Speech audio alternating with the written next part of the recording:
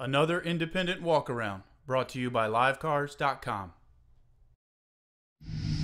2013 Chevy Silverado. We're going to start our walk around on the driver's side.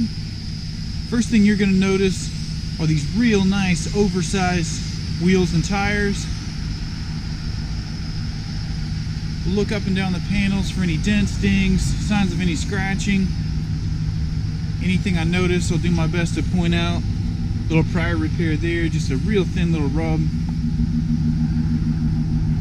Looking around to the back.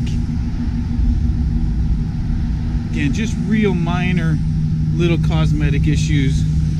Structurally looks great. Take a nice shot of those wheels. And then we're going to come up the passenger side. Overall exterior looks great.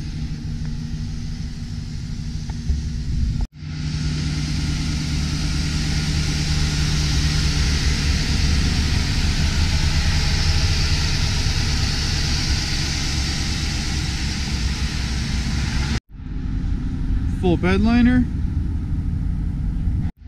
Looking at the interior now, we do have a nice black cloth seating.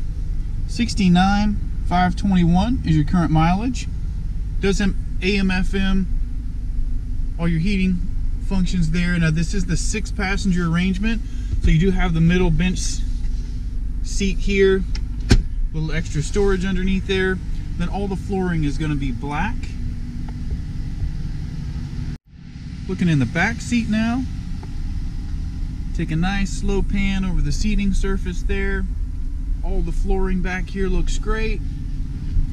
And then you do have the 60-40 split bench. Makes room for a little extra storage.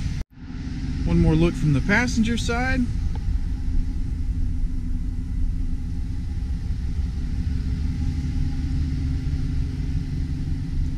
Seating surface looks great. We went ahead and put the armrest down so you can see that in the five passenger seating arrangement as well. That'll wrap up your Chevy Silverado.